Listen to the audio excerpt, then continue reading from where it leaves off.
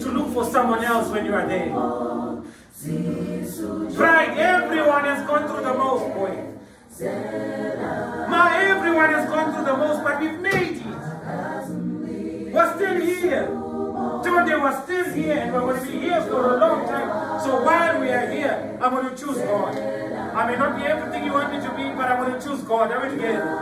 Why? Because I know Him. You should know Him. Something in you must change. Something in you must give in. Because there is a power that surpasses understanding. So if you came here broken, are we together? May you be healed in the name of Jesus Christ. If you came here worried, may you be comforted in His name. But don't leave this place without choosing God for yourself. It's not a group thing. It's an individual thing. Because He calls you by name. And if He calls me by name, Tony, if He called you by name, then He's calling everyone by name. Is there anyone here this morning, this afternoon, who says, I'm not sure, but I want to start a new chapter in my life? I don't know what chapter this will be, but if I take hold of God, He can direct me. The things I used to do have died today. I want to be a new creature. I want to do better. I want to love better.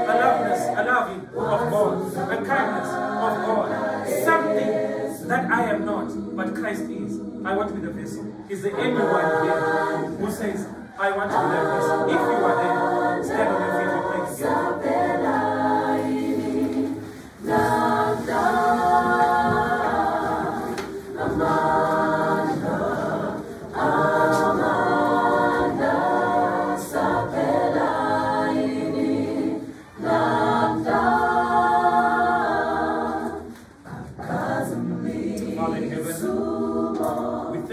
much for this time you've given us.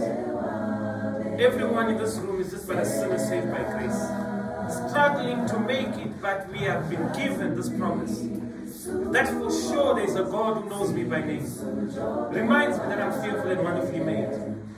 May someone who has come here, a parent who has come here, a teacher who has come here, while they have chosen you physically this afternoon, may you be with them that which they are praying for because they've come this afternoon. May they be blessed. May you answer them physically. May you answer them spiritually. May you answer them financially. May they give a prayer one day to say, for sure, there's a God in heaven. I pray all this in His name. Amen.